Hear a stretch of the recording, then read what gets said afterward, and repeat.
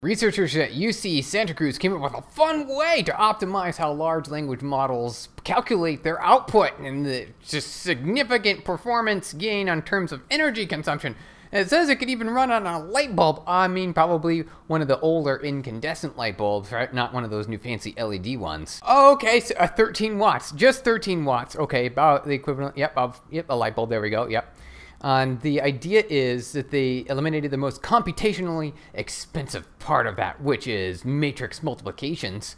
The dense matrix multiplications are very large matrices that uh, need to rotate and then multiply, and then you get an output, and then you do it to the next layer, and the next layer, and the next layer. If they could replace that algorithm instead of multiplying numbers, which is one of the most expensive computational uh, uh, math operations on a CPU, then they could significantly improve the performance and speed of these large language models. So it costs $700,000 per day to run ChatGPT 3.5. That's a significant cost for, and that's just the energy part of it. That's not the hardware and all the components that came together. That's just the electrical bill, right?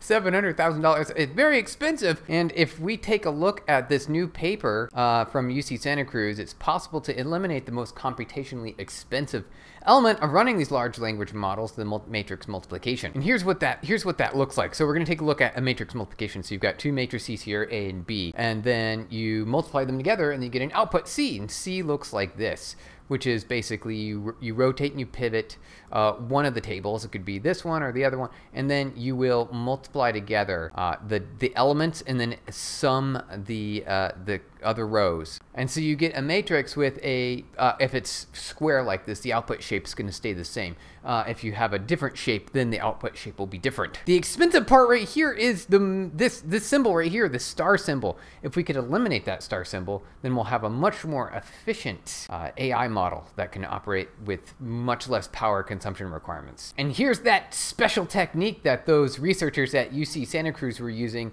when they improved the performance in terms of energy consumption, the large language model that still had the same quality of output as, say, Meta's Llama model with the same number of parameters using a ternary technique, which allows you to, instead of matrix multiplication, you just check to see what the values are at input time in the ternary is going to be negative one, zero, or positive one. And it's really simple uh, from a calculation perspective.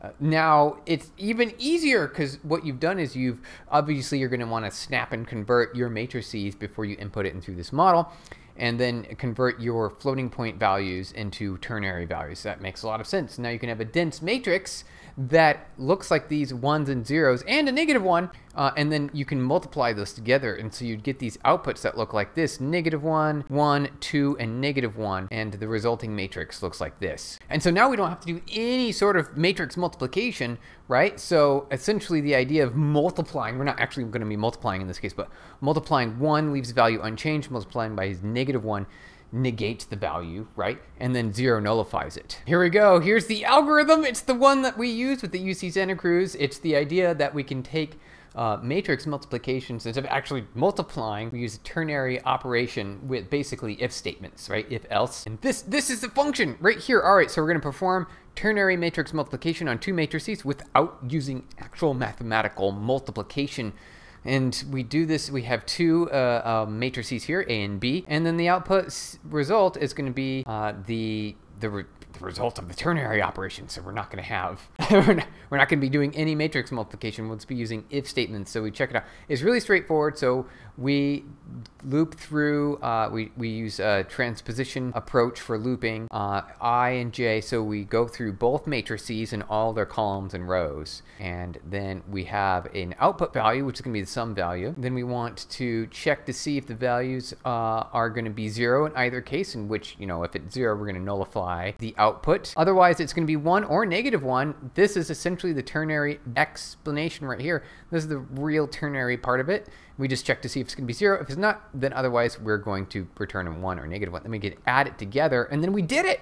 So if we have uh, an array that looks like this, 1, 0, negative 1, 1, negative 1, 1, 1, 0, and then we multiply those together using the not multiplication ternary multiplication method, it allows us to have all of our logic in simple flow control. It's all flow control. So these for loops happen anyway when you're looping over matrix, uh, the matrices, and then you, instead of multiplying the numbers, you just check to see what their output's gonna be, and then you return a sum value because the value can equal two on the output, right? Because you can, one plus one is gonna be two when you're combining these two matrices, right? So it's possible that you'll have a 2 on the output. Here we go, right? Here's an example output, negative 1, 1, and then 2. Let's scroll down here to the bottom, and negative 1. And so the output matrix looks like this. So now we've eliminated matrix multiplication.